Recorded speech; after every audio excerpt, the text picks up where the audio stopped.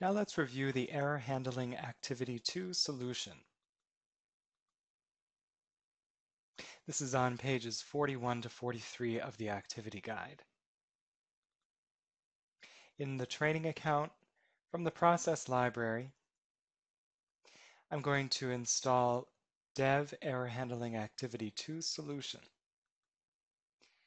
I'm sending it to the same folder, so Atomsphere will create unique names for some of those components that are already in the folder by appending now uh, the number 3.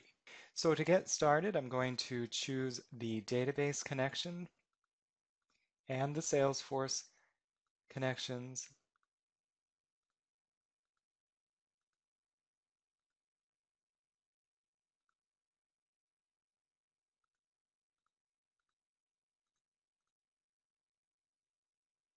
Now, here in our solution, we have a try catch that's going to catch all errors in the contact and account branches.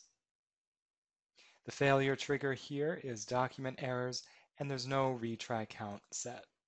That's going to catch all types of downstream errors. We also have a notify shape that's going to use a profile field to format error messages. So here coming from the try catch, we have the customer ID and then the base try catch message. The exception shape will ensure that the process execution is flagged as in error.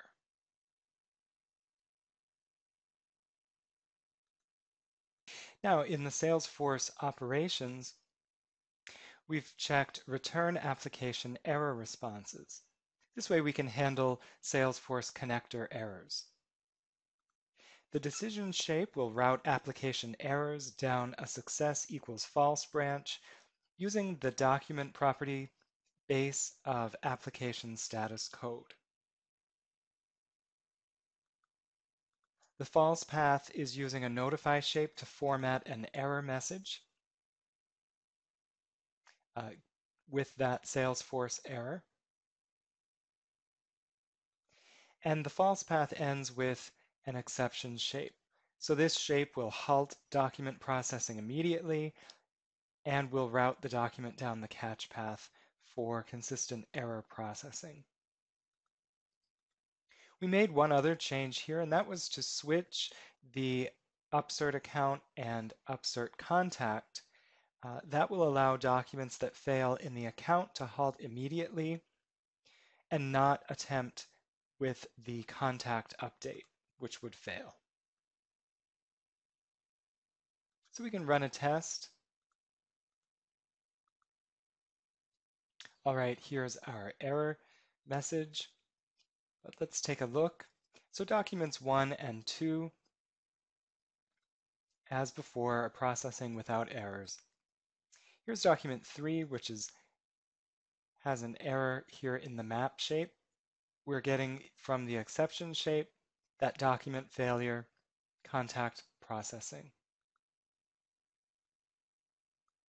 And then for the fourth document, we can see here in the decision shape, invalid or null for restricted pick list.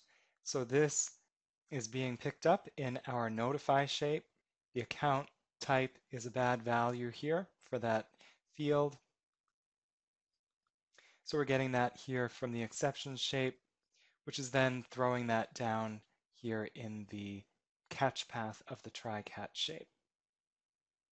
So that's our solution. You can compare your solution to our version and read in the activity guide for a little bit more information about how this solution is configured.